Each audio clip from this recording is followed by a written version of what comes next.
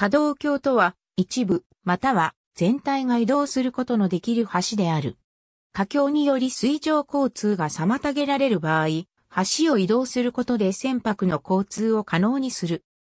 かつては橋を渡る側が馬車など非力なものや架橋技術の低さから橋桁を高い位置に設計することができず利用された方式である。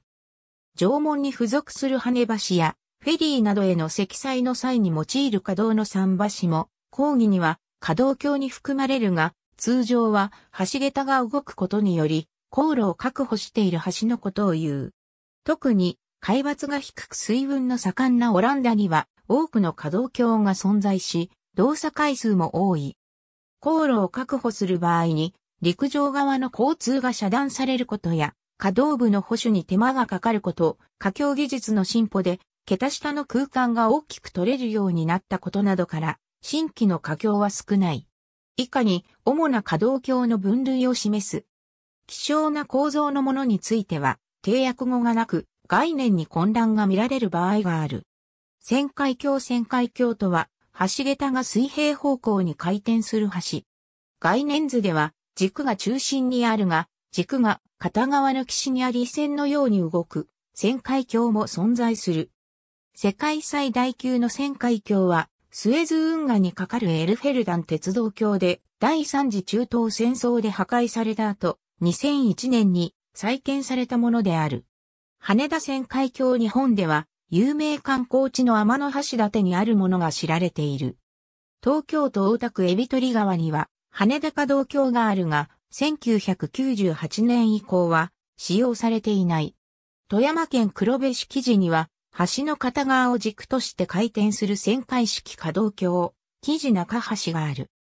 また、大阪港には、非常時の際に大型船舶が通れるように、付帯式の夢前大橋があり、兵庫県山崎市にある天崎港門内には作業用車両が通行する際に使用する管理橋が左右に開く旋回橋となっている。上り海橋登る海橋とは橋桁がそのまま上昇する橋。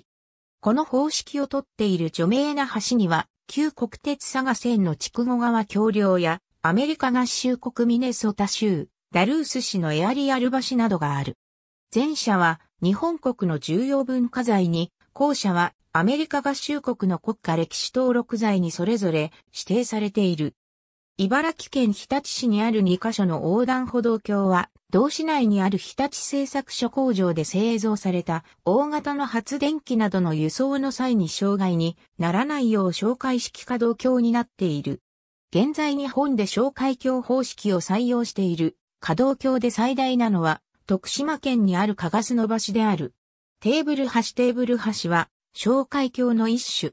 通常の小海橋の場合、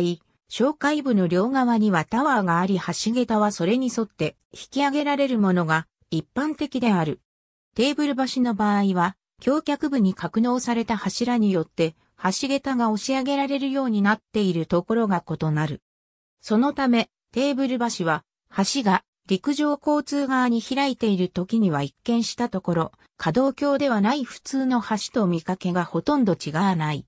テーブル橋という名前は、橋が水上交通の側に開いている場合に、天板と足によって構成されるテーブルのように見えるところから名付けられた。戸部海橋戸部海峡とは、橋桁が跳ね上がる橋。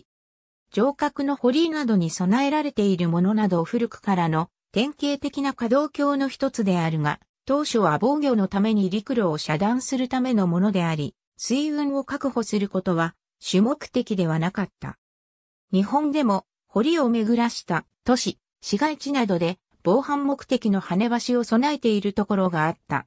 近代的な水運確保目的の可動橋には、片開きのものと両開きのものと両方がある。東京都中央区隅田川の勝ど橋、ロンドンのタワーブリッジが有名。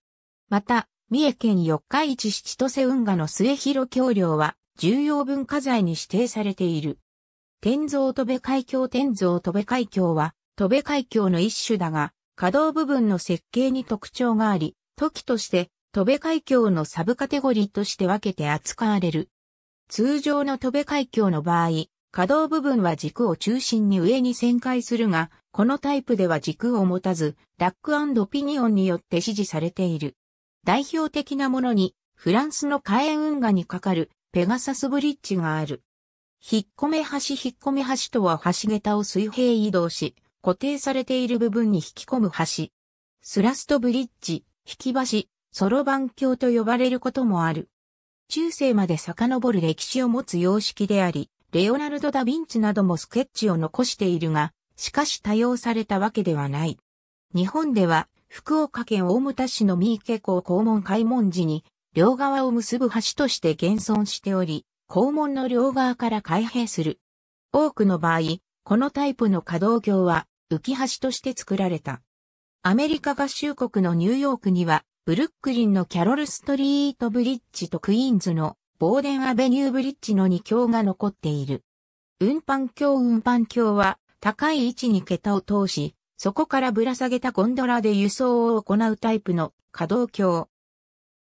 高い位置に橋桁を通すため水上交通にとって邪魔になりにくく、低い位置にゴンドラの床板が来るため陸上交通側が勾配を登らないで済む。しかしながら輸送は完結的にならざるを得ず、一般の橋梁のように連続的な交通が確保できないため、輸送力に劣る。そのため、架橋技術の向上や陸上交通側の技術革新に伴い不便なものとされるようになり、廃れるに至った。可動橋の中には特殊な状況に対応するためのものや、新規性を狙ったものなど、得意で希少な構造を持つものがいくつかある。以下のものは希少な構造であり、一般的なものではない。折りたたみ橋折りたたみ橋とは蝶つがいでつないだ。橋桁をつなぎ、折りたたんで格納する橋。ドイツのキールにある HRN ブリッジがこのタイプの可動橋である。1997年に作られた全長25.5メートル、幅5メートルの歩道橋で3連の桁が N 字型に折りたたまれるようになっている。非常に珍しいタイプの橋であるため、観光名所ともなっている。ただし、気候的に無理があるらしく、故障も多い。公海橋公海橋は可動橋の一種。橋桁を水面下に沈めることで船の通行を可能とするタイプのもので、橋桁部を持ち上げるタイプの可動橋とは逆方向の下に橋桁を移動させるものである。ギリシャのコリントス運河の両端、イスタミアとコリントスの2カ所に実例があり、それらは船が通過するときには水面下8メートルまで橋桁を下げることができる。ハワイの真珠湾にも軍艦通行時に橋桁の一部を下げ通行を可能とした橋がある。その時は一般の車は通行はできない。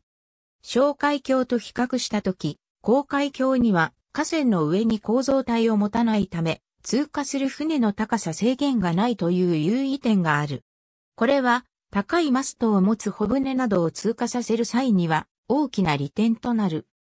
なお、潜水橋、沈下橋は水位上昇時に水面下となる高さにかけられた固定橋を意味する用語であり、可動橋の一種である公開橋とは全く異なるものである。ただし、このタイプの可動橋は極めて希少であり、契約語が存在しないことから、各種文献、ウェブなどでは多少の混乱が見られる。ありがとうございます。